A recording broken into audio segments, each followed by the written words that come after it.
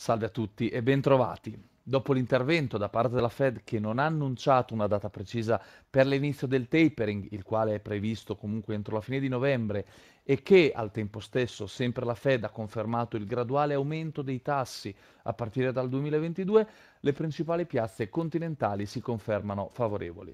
In particolare le borse europee non temono nemmeno il dato sul PMI che è in netto calo rispetto alle attese.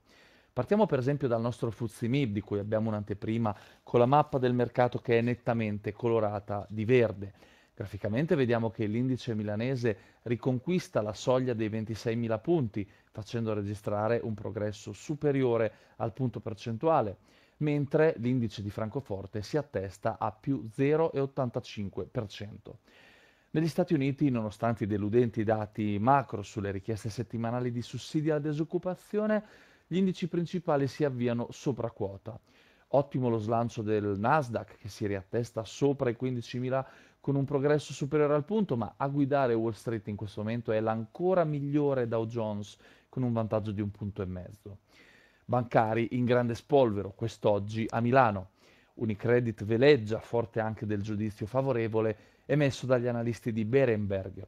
A breve distanza c'è Banca Mediolanum con il suo più 3,21 più staccata Banco BPM con un comunque più che discreto più 2,55%, ma sono comunque tanti gli istituti che hanno fatto registrare buone performance pur rimanendo fuori dalla top 10, anzi dalla top 5, come per esempio Intesa San Paolo, Banca Generali e Finico Bank sono alcuni appunto dei bancari non presenti nella top 5 di oggi.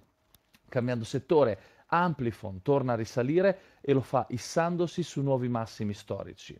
E poi segnaliamo anche la prova di CNH Industrial con lo scorporo di Iveco che pare sempre più vicino giorno dopo giorno. I passivi di oggi sono poco marcati e rimangono contenuti sopra al punto percentuale. Il fanalino di coda è Inwit che dopo una fase laterale scivola in chiaro territorio negativo nell'ultima fase di contrattazioni. Graduale il trend discendente di Diasorin che fa registrare un meno 0,54%. Infine troviamo Campari a poca distanza dalla parità. L'euro-dollaro prosegue gli scambi con un guadagno frazionale dello 0,35% per il momento a quota 1,1735. Ben eh, acquistato anche il rapporto euro-yen che sta viaggiando a più 0,70% circa, mentre il cross euro-sterlina scivola sotto al mezzo punto percentuale. Ed ora lo sguardo ai mercati a cura di Giacomo Moglie. Oggi con me Giacomo Moglie, analista tecnico, eh, per dare uno sguardo ai mercati dopo la tempesta di inizio settimana. Lascia a te grafici e considerazioni.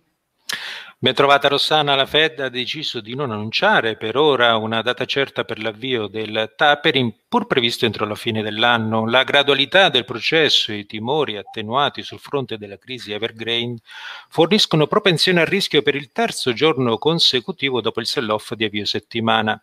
Scampato pericolo, allora proviamo a rispondere partendo come sempre dalle evidenze tecniche di cui disponiamo. Partiamo da Wall Street, S&P 500, qui in quadro tattico che attinge al grafico espresso con candele settimanali. Bene, da ottobre 2020 l'indice americano non chiude una settimana sotto il livello dinamico ora in transito a 4.330 punti, dunque il livello da monitorare spartiacque nel quadro tattico.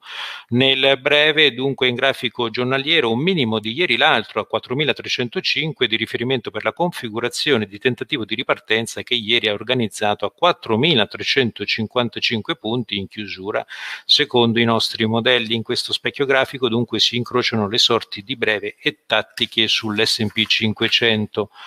Tornando al vecchio continente, osservando quest'oggi l'Eurostox 50, eh, bene, qui sempre nell'osservazione in quadro tattico dell'indice paneuropeo, eh, si propone un test interessante eh, rispetto al rientro dalla pressione ribassista, un test simile a quello visto a fine luglio.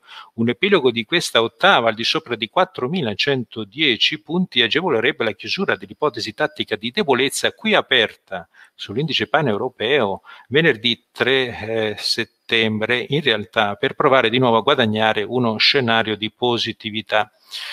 Uh, uno sguardo infine al FTSE MIB, bene, qui, anche qui in osservazione tattica sull'indice italiano ci propone un test interessante questo fine settimana nella misura in cui un'osservazione di domani è di sopra di 25.700 punti agevolerebbe anche qui quantomeno temporanea archiviazione dell'ipotesi ribassista che a differenza dell'Eurostox 50 l'indice italiano ha aperto solo ad inizio di questa settimana per cui l'esercizio tornerebbe ad essere quello di decifrare il fronte rialzista con presidio proprio sulla debolezza estrema vista nei eh, tre, giorni, eh, tre giorni fa. Infine una notazione tornando sugli indici internazionali sul China Shanghai, riprendendo dunque le fibrillazioni che dal paese del dragone sono arrivate.